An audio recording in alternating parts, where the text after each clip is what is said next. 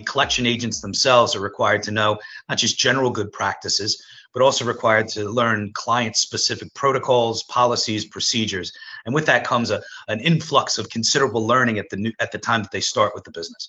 Um, although our training has been relatively effective over the course of time, we were finding that many of the nuances of the job were, were late to develop within the new starter's competency. So we wanted to find a way to fill in some of those blank spots and gaps. Um, with that came the looking into elephants don't forget and clever Nelly and and and quite honestly, prior to implementation, we had tried to, to do very much what Clever Nelly was doing itself by regularly quizzing, regularly training, and, and, and providing closed loop feedback on almost every activity or action that happened around PCA.